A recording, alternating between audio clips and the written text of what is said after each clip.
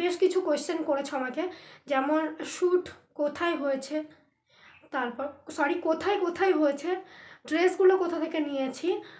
কত টাকা খরচ হয়েছে? মেকআপ আর্টিস্ট কত নিয়েছে? ক্যামেরাম্যান কত নিয়েছে? তোমাদের বাজেট কত ছিল? আর কত গিয়ে দাঁড়িয়েছে?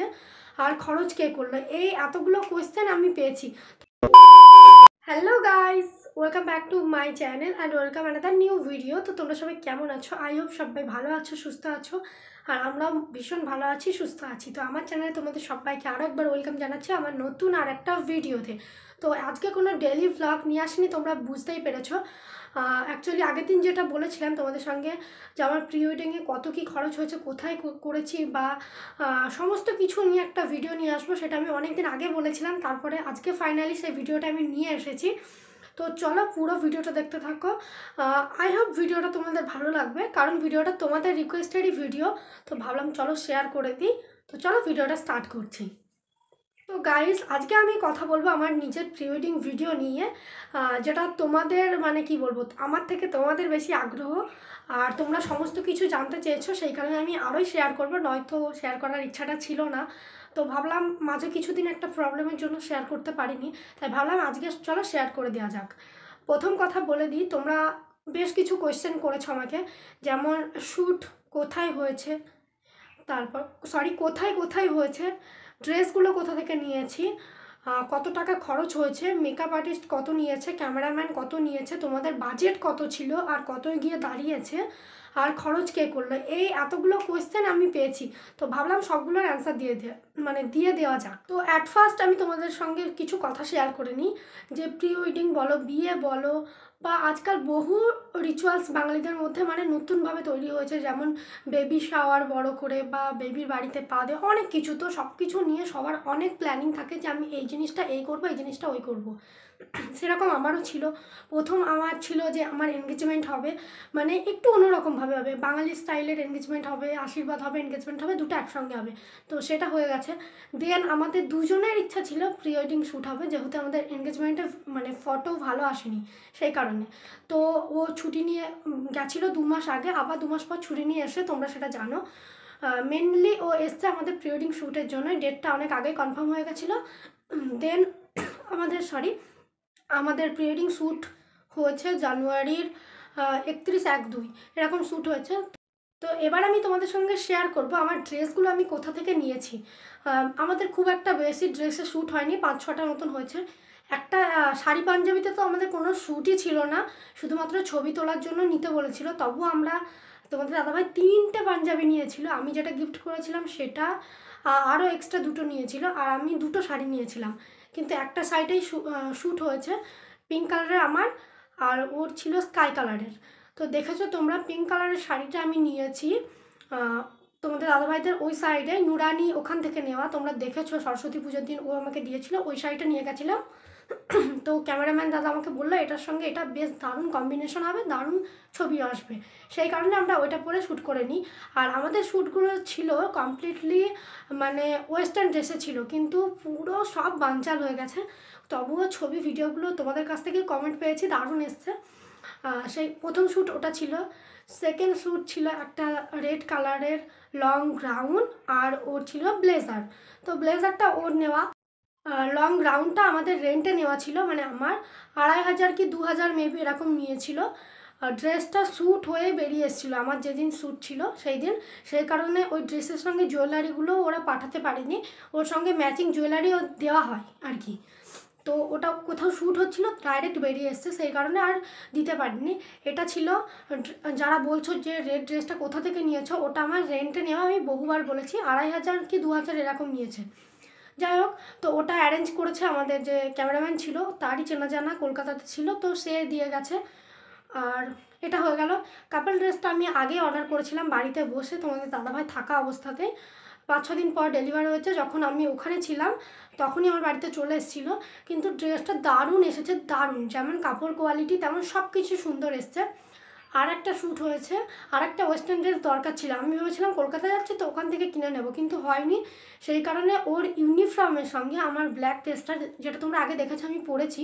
তো ওটার সঙ্গে ওটা শ্যুট হয়ে গেছে। যাই হোক, আর এইগুলো হ- ছিল আমাদের শ্যুট আর হ্যাঁ আর মাঝে একটা ছিল ওয়ান পিসের শ্যুট ছিল আমার ওয়ান পিস ওর একটা টি শার্ট ছিল। তো তার সঙ্গে শ্যুট হয়ে গেছে। সমস্ত ড্রেসের ব্যাপারে আমি বলে দিয়েছি, কোথা থেকে নিয়েছি, না নিয়েছি। আমার ওয়ান পিসটা নিয়েছিল সাতশো টাকা মতন, সাতশো না আটশো, মনে পড়ছে না। তো আমাদের এখান থেকে কসমো থেকে নেওয়া ছিল। আমি পছন্দ করে নিয়েছিলাম। আর বেশিরভাগ ড্রেসগুলো আমি চুজ করেছি। এই ছিল আমাদের ড্রেস আপ কত কী খরচ হয়েছে, না হয়েছে তোমরা বুঝেই গেছো। আর তার সঙ্গে ম্যাচিং করে প্রত্যেকটা ড্রেসের সঙ্গে জুতো ছিল ওর, আমার সব কিছু জুয়েলারি বলো, সমস্ত কিছু নেওয়া ছিল। আজকে আমার গলাতে একটু প্রবলেম হচ্ছে, কেন বুঝতে পারছি না। যাই হোক, কেউ কিছু মাইন্ড করো না। এবার আমি তোমাদের বলব, আমাদের কোথায় কোথায় শ্যুট হয়েছে? আমাদের শ্যুট হয়েছে ফার্স্ট লোকেশান ছিল আমাদের হাওড়া ব্রিজের নিচে, একদম ফার্স্ট মর্নিংয়ে যেটা তোমরা ব্লগে দেখে নিয়েছো। তো ওখানে শ্যুট হয়েছে। সেকেন্ড ফার্স্ট ডেতে আর কোনো শ্যুট হয়নি, সেটাও তোমরা জেনে গেছো কী কারণে, কী বৃত্তান্ত, সমস্ত কিছু জেনে গেছো। সেকেন্ড ডেতে ফার্স্ট মর্নিংয়ে একদম আর্লি মর্নিংয়ে শ্যুট হয়েছে ওই যে গ্রাউন্ডটার সঙ্গে আর তোমাদের দাদাভাইয়ের ব্লেজারের ওটা শ্যুট হয়েছে প্রিন্সেপ ঘাটের সাইডে আর সামনে আর ওই ঘাটের ওখানে। তারপরে থার্ড শ্যুট হয়েছে আমার ওয়ান পিসের সঙ্গে ওর শার্টের যেটা ওই প্রিন্সেপ ঘাটের ওখানেই হয়েছে। কিন্তু একটা পার্ক মতন ছিল, সেই জায়গায় হয়েছে। দেন আমরা চলে আসি ময়দান। ওখানে হয়েছে আমাদের শ্যুট, ওই ওয়ান পিসটার সঙ্গে ভেবেছিলাম ওখানে চেঞ্জ করা যায় বা জায়গা আছে, কিন্তু ওখানে এসে দেখছি কোনো চেঞ্জিংয়ের জায়গা নেই। দেন আমরা ওখান থেকে প্যাক আপ করে বাড়ি চলে আসি। তো মানে শ্যুট কমপ্লিট হয়নি আর কি, তিনটে ড্রেস কলকাতাতে হয়েছে। আর হ্যাঁ আর আমাদের ইচ্ছা ছিল ইকো পার্কে শ্যুট করার, কিন্তু ওখানে চার্জটা বাড়িয়ে দিয়েছে। মানে ঘন্টায় পাঁচ হাজার করে চার্জ আবার আগাম পেড করতে হবে।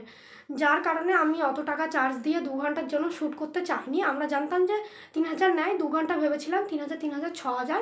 তো সেই ভেবে আমাদের আরও যাওয়া, কিন্তু সম্ভব হয়নি। যাই হোক, তো ওখান থেকে বাড়ি চলে আসার দুদিন পর আমাদের শ্যুট হয়েছে লোকালে মানে তোমাদের দাদাভাইদের ওই সাইডে ইউনিফর্মের সঙ্গে শ্যুট হয়েছে বাজার শো যে স্টেশনটা আছে, খুব সুন্দর। তো ওখানে হয়েছে। আর একটা শ্যুট হয়েছে, ওই আশেপাশে একটু ছোট বাগান মতন ছিল। তো ওখানে আমরা একজনের বাড়ি থেকে গিয়ে ড্রেস চেঞ্জ করে কাপেল ড্রেসটা শ্যুটটা ওই মানে বাগান গাছ লাগানো ছিল, ওখানেই হয়ে গেছে। এই ছিল আমাদের শ্যুট, আমাদের শ্যুটও কমপ্লিট সমস্ত কিছু বলে দিলাম। কিন্তু আমার খুব ইচ্ছা ছিল ইউনিফর্মের সঙ্গে আমি শাড়ি পরে ফটো তুলবো, কিন্তু সেটা হয়নি। তো ক্যামেরাম্যান দাদা আমাকে বলেছে যে, তোমাদের ও আবার আসলে তুলে দেবো। দেন আমি বলেছি, না, ও আসলে আর তুলতে হবে না।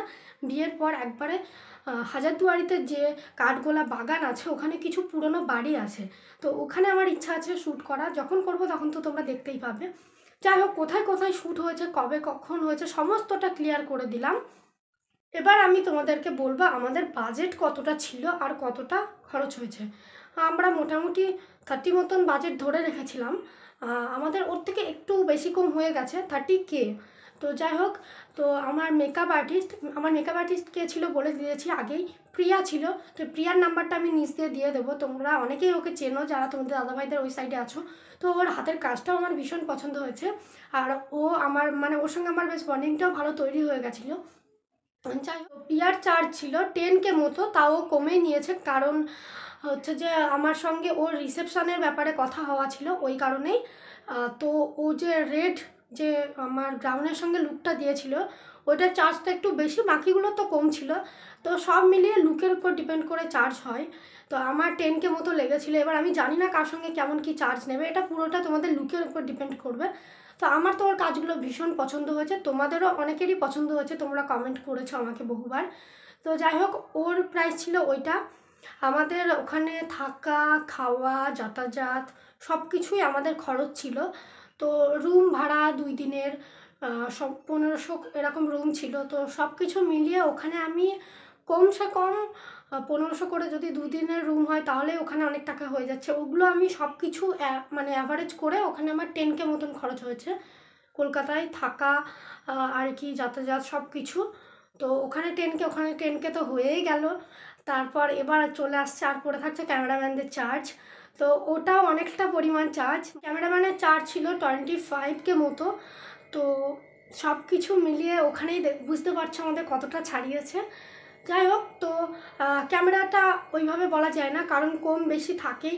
যেহেতু ও মানে ওই দাদা দীপঙ্করের চেনা জানা ছিল, সেই কারণে একটু কম বেশি হয়েছে আমাদের সঙ্গে। এবার সবার সঙ্গে তো এক হবে না শ্যুটের উপরে অনেকটা ডিপেন্ড করে। তো এই ছিল আমাদের চার্জ আর তার সঙ্গে আমাদের ড্রেস আপগুলো কিনতে, তারপরে যে ড্রেসটা রেন্টে ছিল, ওগুলো, ওটার চার্জ সব কিছু মিলিয়ে আমাদের বাজেট থেকে চা মানে বেরিয়ে গেছিল। মানে ওখানে টেন টেন দেন মানে বুঝতেই পারছ, আমি আর ভেঙে চড়ে বললাম না, কারণ আমার ভিডিও আমার বাড়ির লোকও দেখে। তো যাই হোক, তো এটাই চার্জ ছিল আমাদের। মানে তোমাদের একটা আইডিয়া আছে, কলকাতায় দুই, তিন দিন এতগুলো লোক থাকা মানে কতটা কী খরচ হতে পারে, না পারে রুম নিয়ে। তার সঙ্গে মেকআপ আর্টিস্টের চার্জও আমি বলে দিয়েছি ক্যামেরাম্যানের চার্জও আমি বলে দিয়েছি। এবার হয়তো বেশি কম হতে পারে কারোর ক্ষেত্রে। নর্মাল যদি লোকালে শ্যুট হয় দেন টেনকের মধ্যে হয়ে যায়, আমি যতটুকু জানি। তো এতটুকুই শেয়ার করার ছিল তোমাদের সঙ্গে, আমাদের কত কি বাজেট কোথায় কি করেছে, না করেছে, আর হ্যাঁ আমাদের ক্যামেরাম্যান ছিল অভিজিৎ দা মানে অভিজিৎ বিশ্বাস ও টাইটেল আমি নিজ দিয়ে ওরও নাম্বার দিয়ে দেবো, তোমরা নিজেরাও যদি কারোর শ্যুট করার ইচ্ছা থাকে, তো করে নিতে পারো। অনেকে আমাকে ফেসবুকেও মেসেজ করেছিল যে দিদিভাই তুমি কোথা থেকে শ্যুট করেছ বা কোথায় সরি কোথায় কোথায় শ্যুট করেছ আর কে করিয়েছে? কন্ট্যাক্ট নাম্বার দাও। তো তাদের জন্যই আমার আরও ভিডিওটা বানানো। এইভাবে তো সবাইকে প্রত্যেককে মেসেজ করে করে নাম্বার দেওয়া সম্ভব না। তো আমি নাম্বারটা নিচ দিয়ে দিয়ে দেবো। তোমরা যার যার প্রয়োজন কথা বলে নিও। তো এতটুকুই আমার খরচ হয়েছিল।